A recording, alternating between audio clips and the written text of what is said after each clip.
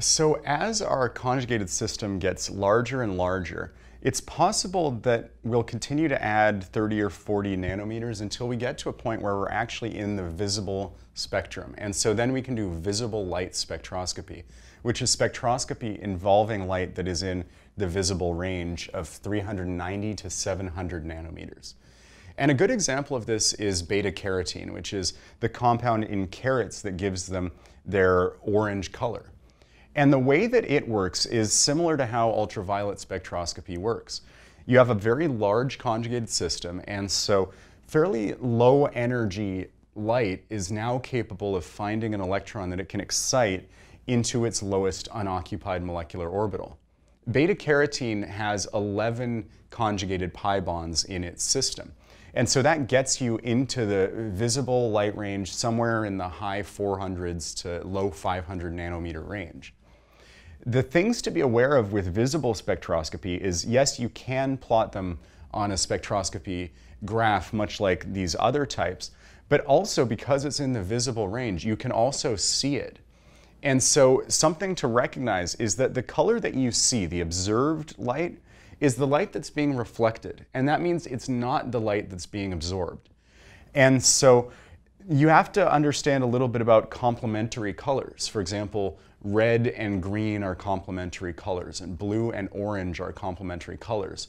And essentially, what happens is it will absorb one wavelength of light and it will reflect the other wavelengths. And so the way it will appear is that you will see the wavelengths that are not being absorbed. So beta carotene happens to be in a range where it absorbs sort of a blue-green light. And as a result, you don't see the blue-green, you see the opposite of that, which is sort of in the orange-red range.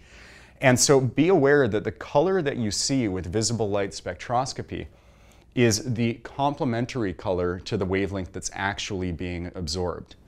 You can also plot this on a graph and then it's fairly straightforward. You just see a certain nanometer wavelength and it becomes clear that there's a curve where the maximum absorption is somewhere. And once again, that can give you clues as to what sort of light is being absorbed. And then we can move on to infrared spectroscopy, which is as far as using pure light, this is the lowest energy that you'll encounter with most organic chemistry. The way IR spectroscopy works is that there isn't enough energy carried by infrared light in order to actually bump an electron from one place to the next. However, what it can do is it can cause a polar bond to oscillate at what they call a resonant frequency. And so remember that a bond isn't just a line like you often draw it in chemistry. A bond is electrons interacting and they're being attracted to the positively charged nuclei, but they're being repelled from each other. And so most bonds, and particularly polar bonds, will have a frequency that they like to oscillate. And infrared light will come in and it will cause that bond to oscillate in such a way that it's at its resonant frequency. And whatever resonant frequency is tells us a lot about the bond that we're interacting with. And so, unlike other ones where you tend to see a spike, with infrared it's actually the opposite. With infrared, instead you see dips whenever the light is being absorbed. So, this is kind of absorption, and this here is going to be uh, emission. You can say the amount of light that makes it through, and whenever there's a dip, that means that the light is being absorbed. And there are a few values to be aware of when you're doing infrared spectroscopy that are worth committing to memory for an OChem class or for the MCAT. And those are if you see a broad dip, so it's a sort of broad shape like that, at the 3200 to 3500 range, that tells you that you have an OH group, an alcohol functional group there. And this is measured in cycles per centimeter, which is, C, you could also see that as cm to the negative 1. And that is going to be, if, you're, if you see a broad dip between 3200 and 3500, that's when you're dealing with an OH alcohol functional group. If you see a sharp dip in the same range, then you're dealing with an amino group, something containing nitrogen and maybe some other R groups, or nitrogen bound to a couple of hydrogens. If you see a sharp and jagged dip in the 1800 to 2000 range, that tells you that you have a saturated hydrocarbon. Usually not that useful in infrared spectroscopy because so many compounds have a saturated hydrocarbon. But it is worth noting that if you see sharp and jagged in the 1800 to 2000 range, you're dealing with a saturated hydrocarbon. And then the other very high yield one to be aware of is at 1700, if you see a sharp dip, that's your carbonyl group, which is a carbon double bound to oxygen. So your C double bound to O, that will be a sharp dip or a sharp spike at 1700 cycles per centimeter. And so the big ones to be aware of are the OH group, which is broad at 3200 to 3500, the amino group, which is sharp at 3200 to 3500, and the carbonyl group, C double bound to O, which is sharp at 1700. And so these are all within a functional group region, which ranges from about 1400 to 4000, and it corresponds with the energy level of infrared light that causes those polar bonds, those OH bonds, those C double O bonds, it causes them to vibrate at their resonant frequency. So something in this 1400 to 4000 range, if you see a dip or perhaps a more broad dip, that will tell you a lot about what functional groups are present.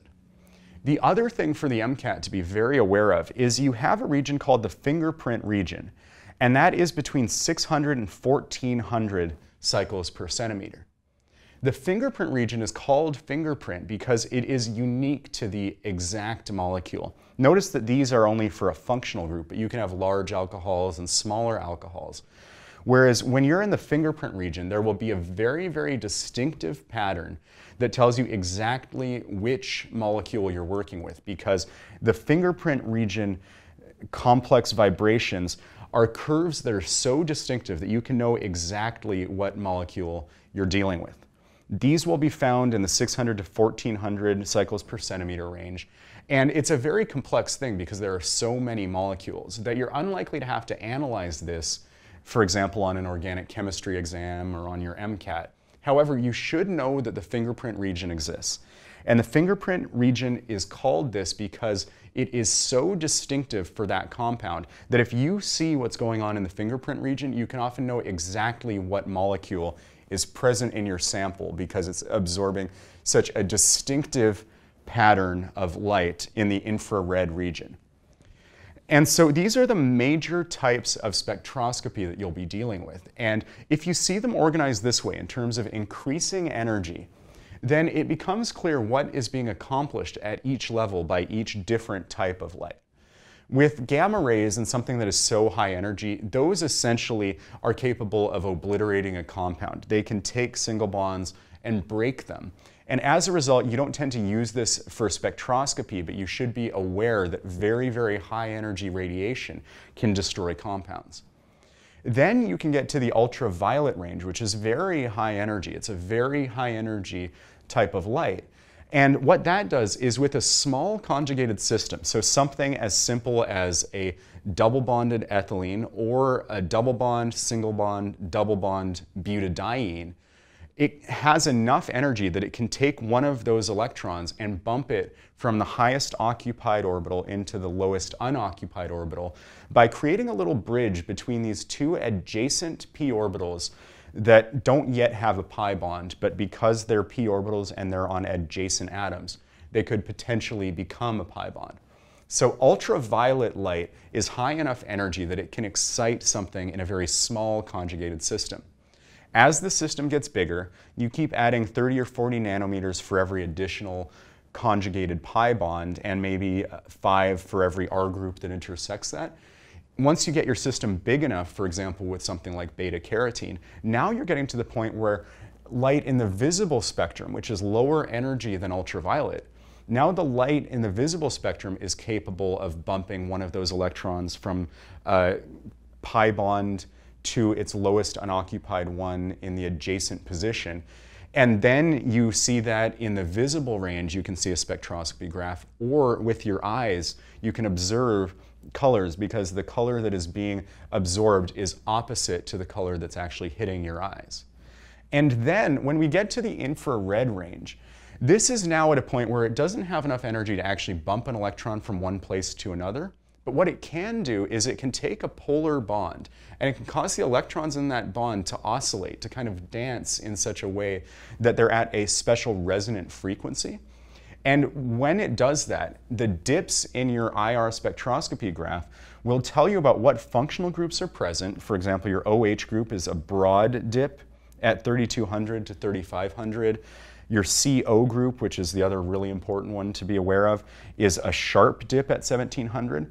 Those will tell you exactly what functional groups you have present in your compound. Or if you're looking at this fingerprint region in the 600 to 1400 cycles per centimeter range, then it tells you what's going on. It's essentially a vibration that causes the entire molecule to vibrate in such a distinctive way that it can be considered the molecular fingerprint. And the fingerprint region can tell you exactly what compound you're dealing with. Whereas in this region, it tells you what functional groups are present, but it might be a large alcohol or it could be something like ethanol, which is a very small one. And so you go from something that can pretty much excite any electron and obliterate any bond to something that excites conjugated electrons in very small conjugated systems then you get visible and it's a larger conjugated system that it can excite.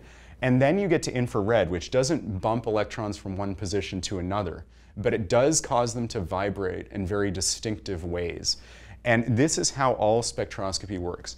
You shoot the light to your receiver, you shoot it through the sample, and then by comparing the two, you get information about what that light is being absorbed to do.